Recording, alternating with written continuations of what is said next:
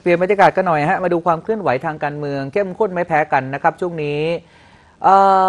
การเมืองยังคงเป็นการจัดตั้งรัฐบาลที่ยังคงต้องจับตานะครับ หลังจากที่พักเพื่อไทย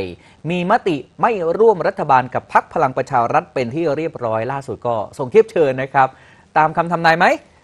ให้กับพักประชาธิปัตย์นะฮะเพื่อเข้าร่วมรัฐบาล เพื่อสร้างเสถียรภาพให้กับรัฐบาล ซึ่งในส่วนของพรรคประชาธิปัตย์ก็มีการนัดประชุมในวันนี้นะครับเพื่อมีมติตอบรับคำเชิญอย่างเป็นทางการอีกครั้งครับ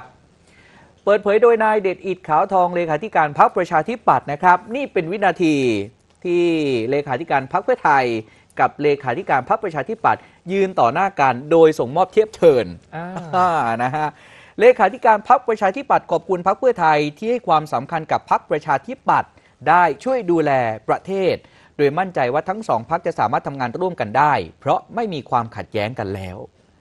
และเชื่อมั่นว่าแม้ภายในพักจะมีความคิดเห็นเป็นสองทางนะครับ แต่เมื่อมติพักออกมาอย่างไร ทุกคนก็ต้องปฏิบัติตาม และในอนาคตก็เชื่อว่าจะไม่มีการโหวตสวนมติของพัก ขณะเดียวกันในการเข้าร่วมรัฐบาลครั้งนี้ ไม่ได้เกี่ยวข้องกับพลังประชารัฐนะครับ แต่ว่าเป็นการพูดคุยระหว่างพักประชาธิปัตย์และพักเพื่อไทย เพราะก่อนหน้านี้มีกระแสข่าวบอกว่า เป็นการ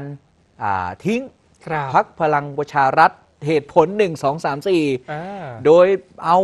พักประชาธิปัตย์เนี่ยเตรียมมาเสียบแทนอยู่แล้ว ไม่ใช่ อ่าแต่เป็นการคุยกันสองพักเท่านั้น ครับอะเราฟังเสียงของเลขาธิการพักประชาธิปัตย์ไปแล้วอ่า ก็เดี๋ยวไปฟังทางด้านของรองหัวหน้าพักประชาธิปัตย์กันบ้างนะครับ ครับ ส่วนของนาวาตรีสุธรรมเร้าหงส์เนี่ย ในฐานะที่ท่านเป็นรองหัวหน้าพักประชาธิปัตย์ในฐานะผู้อำนวยการพักประชาธิปัตย์เนี่ยก็บอกว่าได้รับหนังสือเรียนเชิญแล้ว แล้วก็จะมีการนัดประชุมหารือกับคณะกรรมการบริหารพักแล้วก็สสพักในวันนี้ที่เขาจะมีการประชุมกันนะครับ ถึงจะสามารถหาข้อสรุปร่วมกันได้ว่าจะร่วมรัฐบาลหรือไม่ ซึ่งคาดว่าในที่ประชุมเนี่ยจะมีการพูดคุยถกเถียงกันอย่างกว้างขวาง ในทุกมิติในเรื่องของการเข้าร่วมรัฐบาล แต่จริงๆแล้วหลาย ๆ คนก็บอกว่าแหมก็มาครึ่งตัวแล้วอะนะ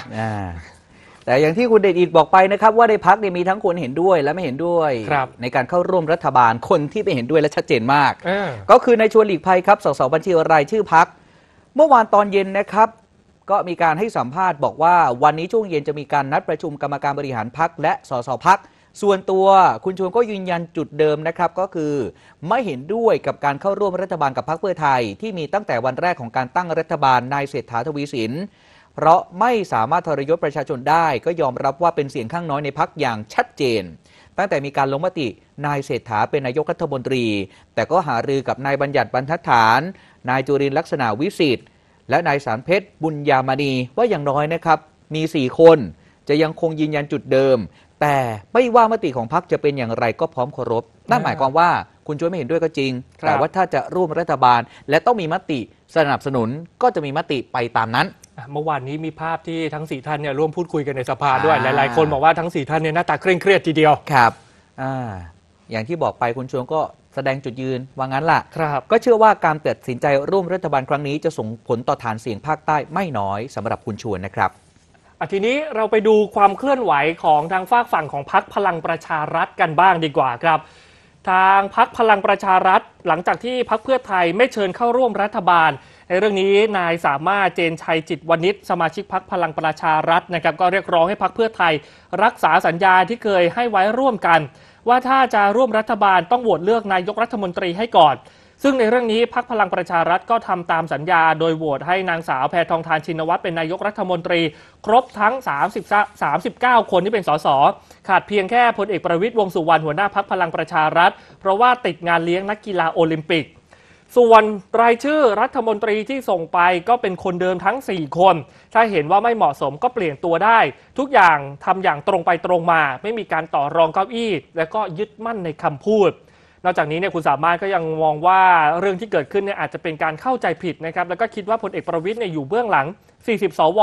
ที่ยื่นเรื่องให้สารรัฐธรรมนูญพิจารณาถอดถอนนายเศรษฐาทวีสิน ซึ่งส่วนตัวคิดว่าเรื่องนี้ไม่เป็นธรรมเท่าไหร่ครับ ขณะที่วันนี้นะครับพลเอกประวิตยวงสุวรรณหัวหน้าพักพลังประชารัฐ ก็ได้ทำหนังสือเรียกประชุม คณะกรรมการบริหารพักพลังประชารัฐ ซึ่งการเรียกประชุมในครั้งนี้เนี่ยถือว่าเป็นครั้งแรกนะครับภายหลังจากที่พักเพื่อไทย แกนนำจัดตั้งรัฐบาลมีมติไม่ร่วมรัฐบาลกับพักพลังประชารัฐครับ แล้วก็เช่นเดียวกับทางพลตำรวจเอกเสรีพิสุทธิ์เตมียเวทหัวหน้าพักเสรีรวมไทยนะครับ ซึ่งทางพลตำรวจเอกเสรีพิสุทธิ์เนี่ยเตรียมที่จะแถลงจุดยืนแล้วก็บทบาททางการเมืองของพักว่าจะถอนตัวจากการร่วมรัฐบาลหรือไม่ครับะตอนนี้พรุ่งติดตามกันวันใกนี้ล้ชิดอ่าวันนี้นะฮะครับวันนี้เออนะฮะ อ๋อ ตอนนี้การเมืองระหว่างพักการเมืองกลายเป็นการเมืองภายในซะแล้วนะครับเออเพราะว่าแต่ละพักการเมืองเนี่ยก็มีเรื่องภายในที่ต้องไปเคลียร์ต้องจัดการ ครับ และวันนี้สามพักหลักๆ เลย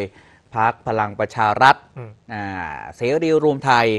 ตัดสินใจอย่างไรในการเดินหน้าทางการเมืองในฐานะฝ่ายค้านหรือว่ารัฐบาลครับ สำหรับเสรีรวมไทยนะ ส่วนประชาธิปัตย์ชัดเจนแล้วล่ะ ว่าร่วมรัฐบาลแต่รอกรรมการบริหารพักและสส